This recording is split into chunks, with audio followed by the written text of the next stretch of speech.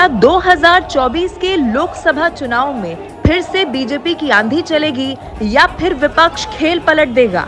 चलिए, इस सवाल का जवाब तलाशते हुए सबसे पहले बारीकी से उत्तर प्रदेश की सियासी नब्स को टटोल लेते हैं और करते हैं बात चुनाव की। 80 लोकसभा सीटों वाला ये उत्तर प्रदेश चार जोन में बटा हुआ है। पूर्वांचल, अवध पश्चिमी उत्तर प्रदेश और बुंदेलखंड। तो पहले आपको दिल्ली से सटे पश्चिमी उत्तर प्रदेश के सियासी समीकरणों से रूबरू करा देते हैं।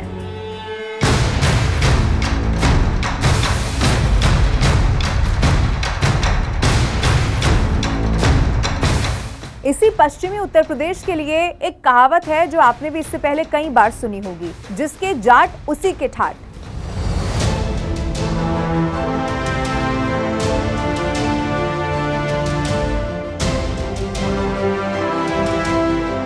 जाट जिसकी तरफ़ हो जाते हैं, उसी की माना जाता है, सियासत में बल्ले बल्ले हो गई है। और इसका एक कारण यह भी है कि चौधराहट करने वाले जाट समाज के पीछे जो बाकी जातियाँ होती हैं, पश्चिमी उत्तर प्रदेश की खासतौर पर, उनका रुझान क्या होगा यह भी तय हो जाता है। अब जाटलैंड की ताकत क्या है, वो भी मैं आपको विस्तार से समझाने वाली हूँ। लेकिन सत्ताधारी पार्टी, यानी कि भारतीय जनता पार्टी के आगे विपक्ष के कौन कौन से ताकतवर चेहरे हैं, ये भी जरा अब आप जान लीजिए। मैं शुरुआत करूँगी क्योंकि पश्चिमी उत्तर प्रदेश की बात कर रही हूँ तो जयंत चौधरी, जो आरएलडी से ताल्लुक रखते हैं। ये चेहरा आपने इससे पहले पश्चिमी यूपी में कई बार राजनीति के लिहाज से देखा होगा। अब जानिए कि ये वो आरएलडी है जिनके लिए माना जाता है कि इनकी राजनीति जाटों और किसानों के इर्द गिर्द ही हमेशा से रही है। लेकिन पीएससी यानी कि पॉलिटिकल स्टॉक एक्सचेंज के आंकड़े इसको लेकर क्या कहते हैं? आरएलडी का जाट वोट परसेंटेज खास तौर पर पश्चिमी उत्तर प्रदेश में क्या रहा है? पिछले दो लोकसभा चुनाव में 2014 में 28 और 2019 में तीन फ़ीसद, सिर्फ़ तीन फ़ीसद। अब ये आंकड़े बताते हैं कि आरएलडी का जो कोर वोट बैंक रहा है, यानी कि जाट, अब उनसे लगातार खिसकते चले जा रहे हैं, दूरी भी बना चुके हैं। इसका कारण क्या है, आगे मैं आपको बताऊँगी। लेकिन दूसरा बड़ा चेहरा, अखिलेश यादव, जो मुखिया है समाजवादी पार्टी के। चेहरा आपने उत्तर प्रदेश की राजनीति के लिहाज से इससे पहले कई बार देखा होगा। अब खास ये है कि एमवाई से पीडीए पर अखिलेश यादव खिसक गए हैं। पीडीए यानी कि पिछड़ा दलित अलायंस मुस्लिम और दलित की बात इससे पहले वो करते थे, मुस्लिम यादव की बात करते थे। अब क्योंकि समाजवादी पार्टी शुरू से मानती रही है कि मुस्लिम और यादव जो है, वो उनका परंपरागत वोट बैंक है और यहाँ पर सबसे ज़्यादा आबादी मुसलमानों की है, जो लगभग 26 फ़ीसद बताई जाती है। अब आप ये भी जानिए कि इन्हीं के बदौलत अखिलेश यादव की राह थोड़ी आसान होती हुई ज़रूर दिखाई दी है।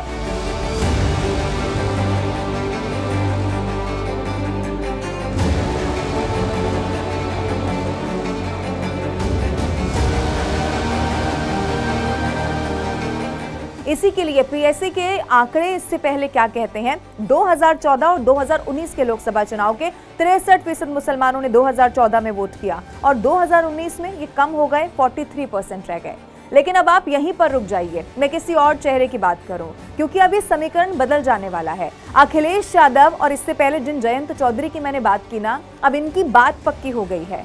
अब ऐसा क्यों है, ये भी जरा समझिए। आरएलडी और समाजवादी पार्टी में डील फाइनल हो गई है। ये सबसे बड़ी खबर भी है पश्चिमी उत्तर प्रदेश के लिहाज से। जयंत चौधरी ने अखिलेश यादव से 12 सीट मांगी, लेकिन अखिलेश यादव तैयार नहीं थे, लेकिन सात सीट पर वो राज़ी हो गए हैं। ये भी अब सोर्सेज बता रहे हैं। हालाँकि वो कौन सी है, ये भी सामने नहीं आया।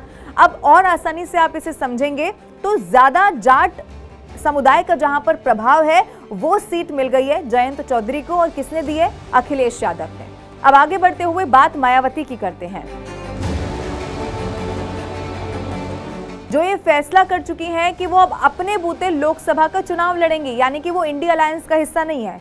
मायावती, यानी कि बसपा, जिसका आपने कई बार सुना होगा, परंपरागत जो वोट बैंक है वो दलित रहा है। और इसी पश्चिमी उत्तर प्रदेश के आंकड़े, पीएससी के मुताबिक, क्या बताते हैं दलित वोट परसेंटेज मायावती का? पहले क्या रहा है? 2014 में आप देखिए 73 परसेंट।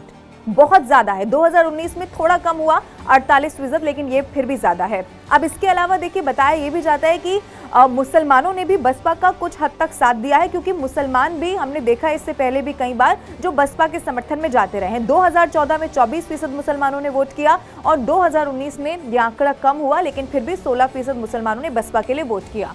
अब बात करते हैं सबसे पुरानी पार्टी। समझ गए होंगे मैं किसकी बात कर रही हूँ? कांग्रेस की।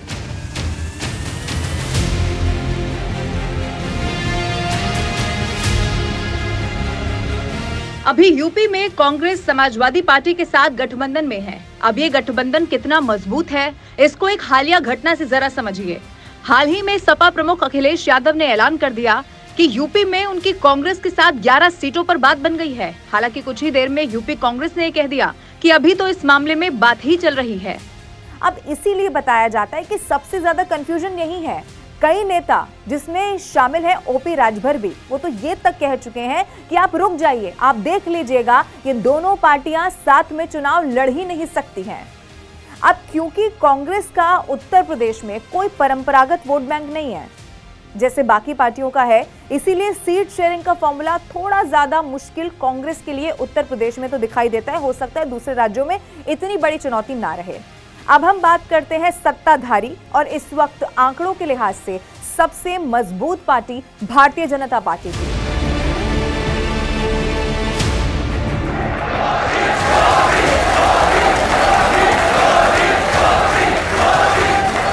और जब मैं आंकड़ों के लिहाज से आपको बता रही हूँ कि मज़बूत पार्टी है तो अब आप पीएससी के ये आंकड़े जानकर ये बहुत हैरान हो जाएँगे कि जाटलैंड में जाटों के इर्द गिर्द राजनीति करने वाली पार्टियों को पूरी तरह से धाराशाही किसने किया है? पिछले दो बार के चुनाव में इसी भारतीय जनता पार्टी ने, जिनकी सरकार है, मौजूदा वक्त में उत्तर प्रदेश के मुख्यमंत्री हैं, योगी आदित्यनाथ। अब पीएससी के आंकड़े क्या कहते हैं? भाजपा को लेकर ये भी जरा जानिए।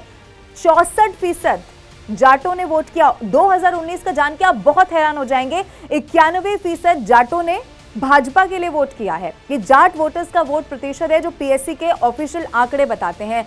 अब मैंने जाटों की तो बात कर ली, लेकिन सिर्फ़ जाट ही नहीं है। पिछले दो बार के चुनाव में भारतीय जनता पार्टी दलितों को भी अपने साथ लाने में बहुत हद तक कामयाब हुई है। और इसी लिहाज से भारतीय जनता पार्टी के लिए दलित जो मायावती का कोर वोट बैंक बताया जाता है, आप देखिए 2014 में दलित वोट करते हैं बीजेपी को 22 फ़ीसद। थोड़ा आंकड़ा बढ़ता है 2019 में हो जाता है 26 फ़ीसद। अब कोशिश यही है कि इसे और बढ़ाया जाए। अब इन आंकड़ों के साथ में मैं आपको ये भी बता दूँ कि पश्चिम में भाजपा की चुनौती अभी भी साफ़ दिखाई देती है। 2022 का विधानसभा चुनाव याद है आपको, जहाँ सूत्र बताते हैं कि आखिर तक जयंत चौधरी को साथ लाने की बहुत कोशिश हुई थी, लेकिन ये कोशिश कामयाब नहीं हो सकी क्योंकि वो जानते हैं कि कैसे वहाँ पर जयंत चौधरी का बहुत दबदबा है। अब समीकरण ये कहते हैं कि चाहे 2022 में करिश्माई जीत हुई हो, विधानसभा चुनाव में जीत हासिल हो गई हो, लेकिन ये सच है कि सबसे ज़्यादा नुकसान भी चाहे विधानसभा का चुनाव रहा हो या लोकसभा का चुनाव रहा हो, दोनों चुनाव में भाजपा को पश्चिमी उत्तर प्रदेश से सबसे ज़्यादा नुकसान हुआ है। इसीलिए राह उतनी आसान नहीं है जितनी यहाँ से शायद दिखाई आपको पड़ रही हो। और फिर आपको याद होगा, किसान आंदोलन हुआ, उसका प्रभाव कितना पड़ेगा, ये भी अब जो इस बार के यानी कि 2024 के नतीजे सामने आएँगे, उसके बाद साफ़ हो जाएगा। तो ये पश्चिमी उत्तर प्रदेश की पूरी बात। अब चलिए शुरुआत करते हैं और बात करते हैं सबसे महत्वपूर्ण पूर्वांचल की।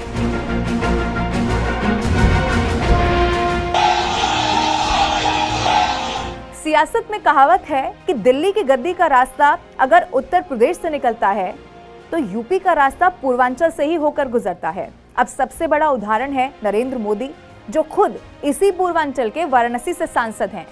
और योगी आदित्यनाथ जिनका गढ़ गोरखपुर इसी पूर्वांचल में है। इसीलिए बीजेपी के दिग्गजों की भी साख दाव पर होगी।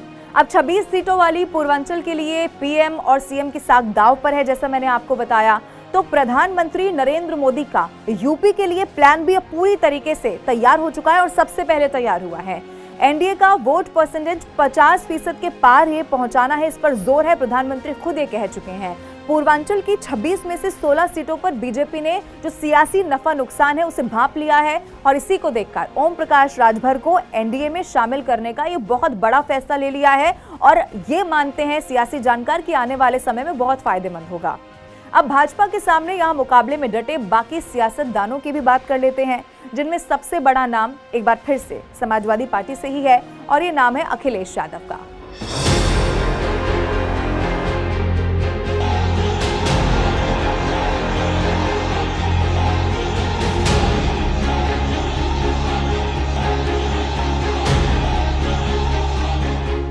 2022 के विधानसभा चुनाव में समाजवादी पार्टी से गठबंधन कर सुबह सपा ने चुनाव लड़ा था। 2022 का विधानसभा चुनाव आपको याद होगा। अब इसी पूर्वांचल को जीतने के लिए ओबीसी फैक्टर को साधना सबसे ज़रूरी है। इसी ओबीसी में 30 फ़ीसद यादव है और 20 फ़ीसद कुर्मी समुदाय के वोटर्स बताए जाते हैं। और इसी ओबीसी की जिसकी कैटेगरी की मैं बात कर रही हूँ, इसमें आप देखिए निषाद बताए जाते हैं, जो बड़ा प्रभाव डालते हैं। निषाद के बाद कुशवाहा समाज का भी बहुत ख्याल रखा जाना यहाँ पर ज़रूरी हो जाता है। राजभर भी और फिर नोनिया समुदाय जो होता है, उसका भी यहाँ पर बहुत बड़ा प्रभाव माना जाता है। अब देखिए, पूर्वांचल के कई जिलों में मुस्लिम वोटर किसी भी दल का खेल बनाने और बिगाड़ने की क्षमता रखते हैं। ये माना जाता है। अब ऐसे में चूँकि यादव और मुस्लिम जो है, वो सपा का परंपरागत वोटर माना जाता है। अब इसी में कोई दूसरी कुर्मी या फिर कोई अन्य प्रभावी जाति अगर जुड़ जाती है तो फिर आप सोचिए कि राजनीतिक रूप से जीत का आधार वो बन जाएगा। लेकिन हाँ ओम प्रकाश के छिटकने से अब समाजवादी पार्टी यानी कि अखिलेश यादव को पूर्वांचल में बहुत बड़ा झटका लग सकता है। फिर भी नतीजों का इंतज़ार यहाँ पर ज़रूर करना होगा। अखिलेश यादव के बाद अब बात करते हैं बसपा की।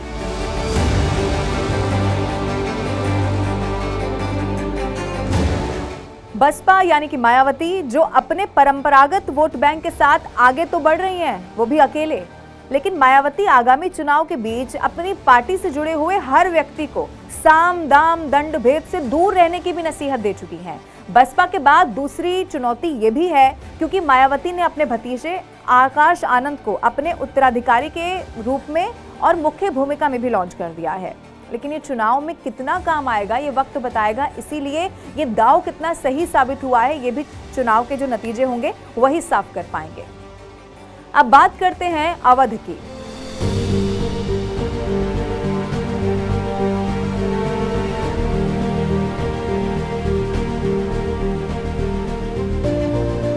अब हाल अवध का सिर्फ़ राममय है।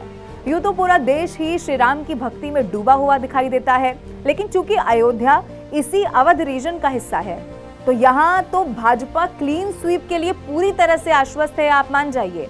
अब राम मंदिर की भव्यता को 2024 के चुनाव से पहले घर घर तक पहुँचाने का भी प्लान बीजेपी ने तैयार कर लिया है। और वो कैसे किया है? इसके लिए हर गाँव से लोगों को 24 जनवरी से राम मंदिर के दर्शन कराने का अभियान शुरू कर दिया गया है जो बहुत बड़ा चुनावी मुद्दा बनकर अब सामने आएगा। तो यहाँ से जो चुनावी एजेंडा सेट होता हुआ दिखाई दिया है, उसका तोड़ ढूंढ पाना विपक्ष के लिए नामुमकिन सा साबित होता है। अब बात करते हैं कानपुर बुंदेलखंड की।